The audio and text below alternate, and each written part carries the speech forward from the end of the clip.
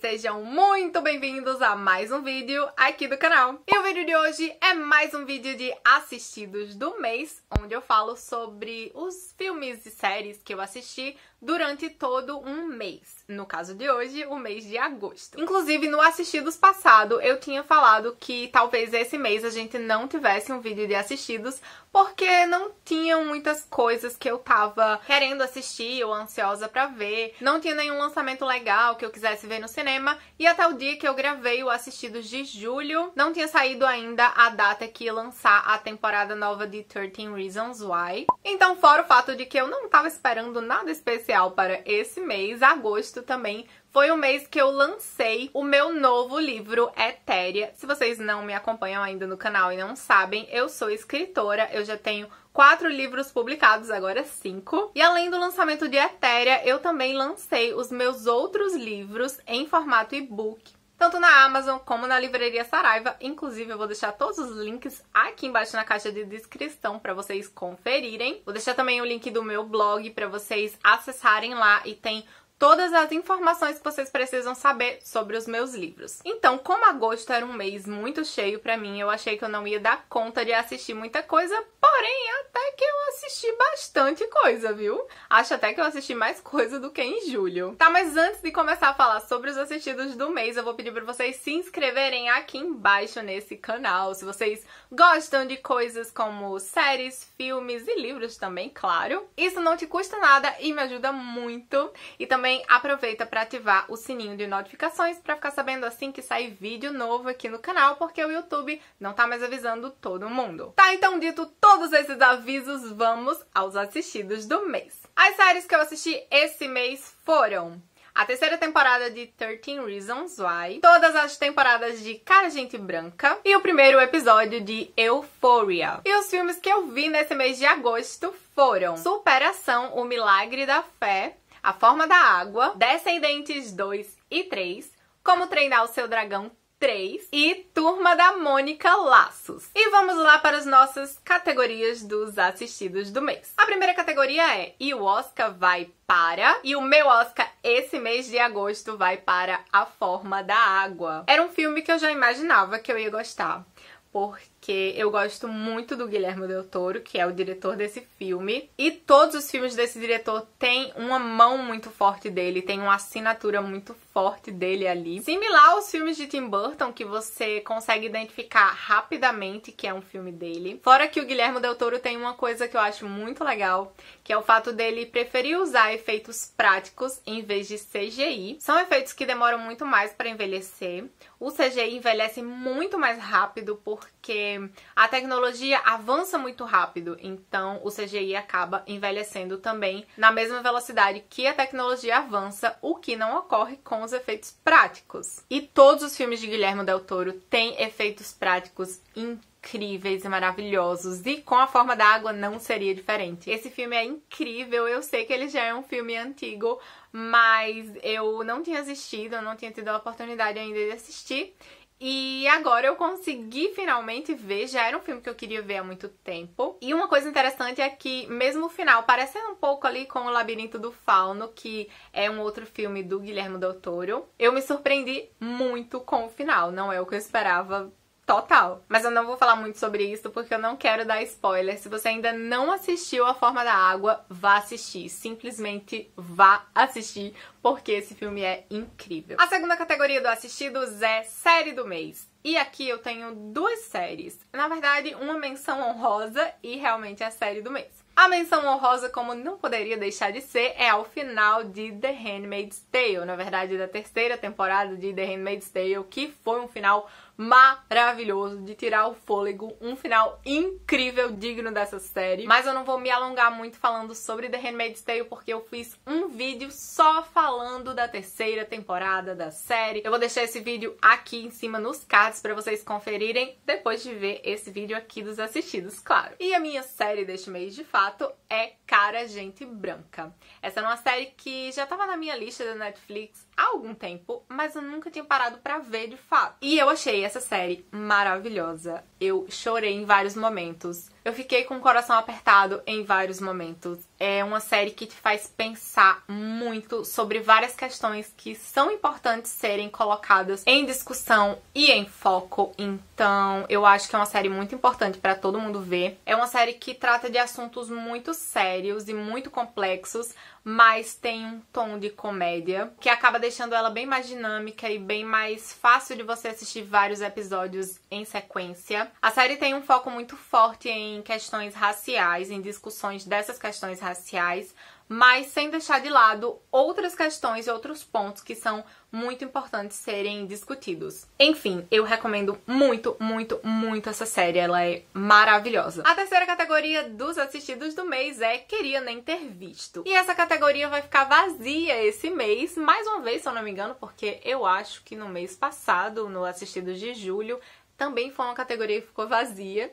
Mas esse mês de agosto eu assisti muitas coisas legais, muitas coisas que eu gostei muito, coisas que eu gostei mais e outras que eu gostei um pouco menos, mas Todas elas me acrescentaram muito e eu não senti como se eu estivesse perdendo tempo. Então, nenhum dos filmes e séries que eu assisti esse mês dá para colocar nessa categoria. Sendo assim, vamos passar para a categoria 4, que é Não Dava Nada, mas Amei. E nessa categoria eu preciso falar de Descendentes, tanto o filme 2 como o filme 3, mas principalmente o 3, porque foi o que eu gostei mais. Eu assisti esses dois filmes esse mês, meio que em sequência. Eu assisti um em um dia e o outro outro no outro dia. O primeiro filme de Descendentes eu já tinha visto há bastante tempo, logo quando lançou. Só que daí depois eu não assisti o 2 e lançou o 3 agora e eu fiquei curiosa para ver. E aí eu assisti o 2 para poder ver o 3. E olha, eu me surpreendi muito positivamente. O primeiro eu tinha gostado, mas não tinha sido aquela coisa que eu tinha amado. E aí, quando eu fui ver o 2 e o 3, eu já fui esperando uma coisa bem mais ou menos, mas eu acabei que eu amei esses filmes. Eu achei muito legal que a história melhorou muito, que os personagens cresceram bastante. Eu amo as coreografias e eu acho as músicas de Descendentes incríveis. E estava eu de boa assistindo o filme 2 de Descendentes.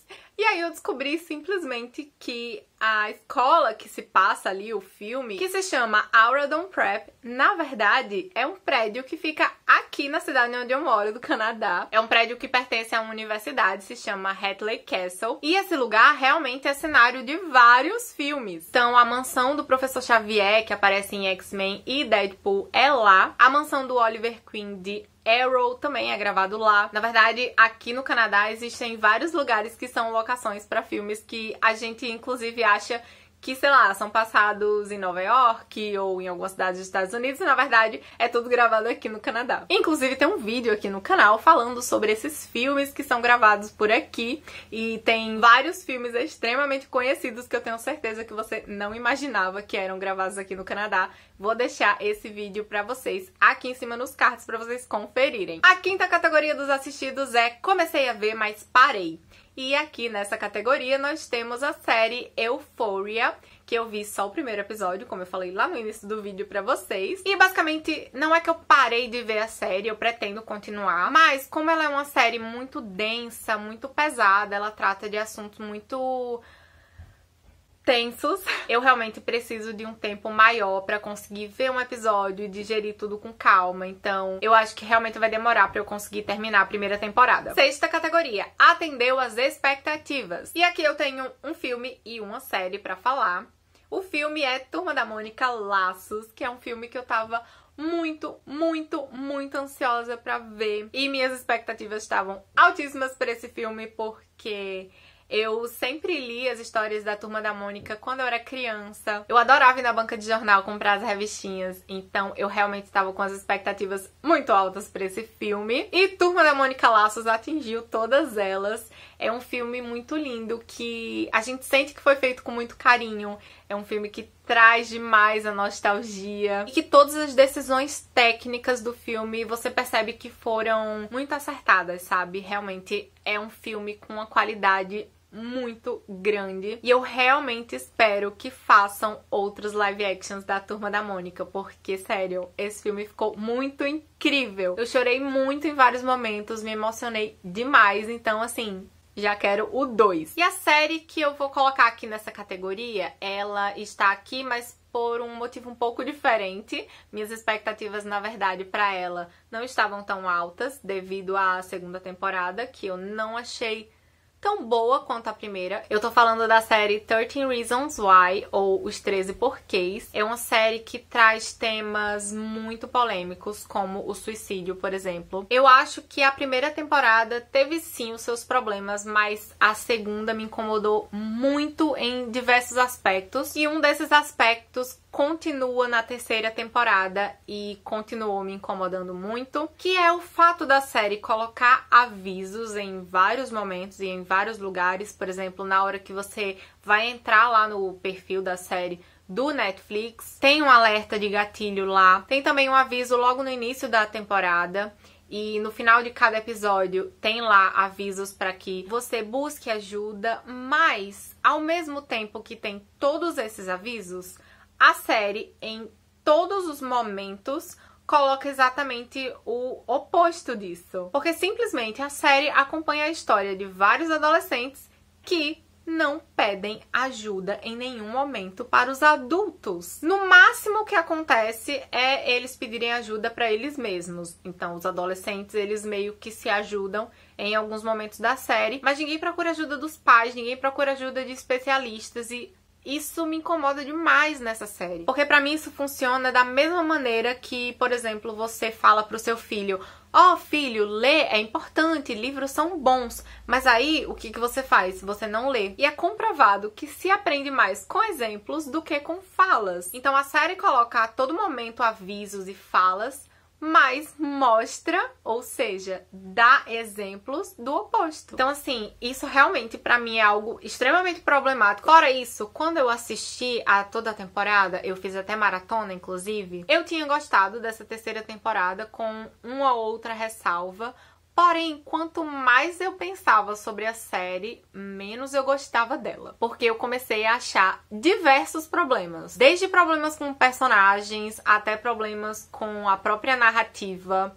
Eu achei essa temporada muitíssimo confusa. Eles tentam fazer diferenciações de flashbacks e do que está acontecendo no tempo real por meio da fotografia, mas não fica legal, não fica claro, continua muito confuso e tem horas que você simplesmente não sabe se aquilo tá acontecendo no presente, no passado. Só para terminar de falar dessa série, outra coisa que me incomodou muito, muito, muito mesmo foi a resolução da terceira temporada. Alerta de spoiler se você não assistiu ainda a terceira temporada de 13 Reasons Why ou se você não terminou a temporada, eu vou deixar aqui na tela um aviso de spoiler para você mutar o vídeo até o momento em que ele desaparecer. Tá, então para começar, eu não gostei que foi o Alex que matou o Bryce. Para falar bem a verdade, eu não gostei do arco do Alex nessa temporada, eu achei muitíssimo mal executado. E mais uma vez, confuso, porque uma hora ele está odiando o Bryce e outra hora ele está saindo com o Bryce para festas.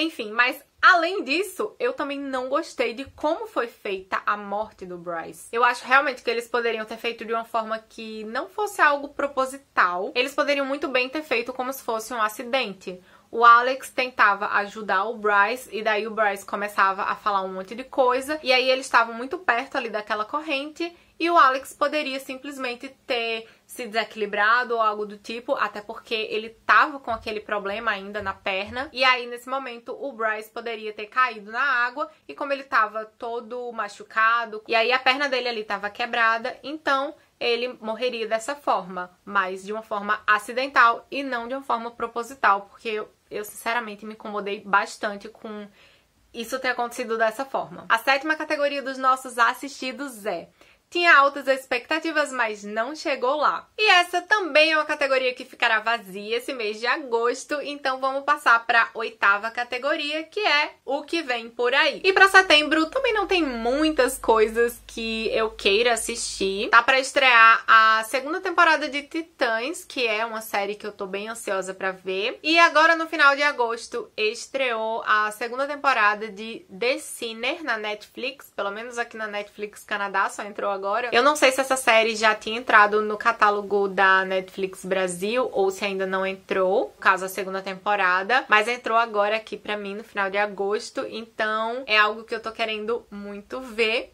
Mas eu acho que são só essas duas, eu acho que não tem mais nada aí que pelo menos tá para estrear que eu saiba. Mas quando chegar em outubro, eu acho que esse meu assistidos do mês vai dar uma recheada, porque outubro, novembro e dezembro tem muitas coisas que eu quero ver. Então é isso, se você gostou desse vídeo, clica no curtir aqui embaixo, se inscreve no canal e ativa o sininho de notificações pra ficar sabendo assim que sair vídeo novo, porque o YouTube não tá mais avisando todo mundo. E deixa nos comentários aqui embaixo o que foi que você assistiu esse mês de agosto. Vejo vocês no próximo vídeo, um beijo, tchau!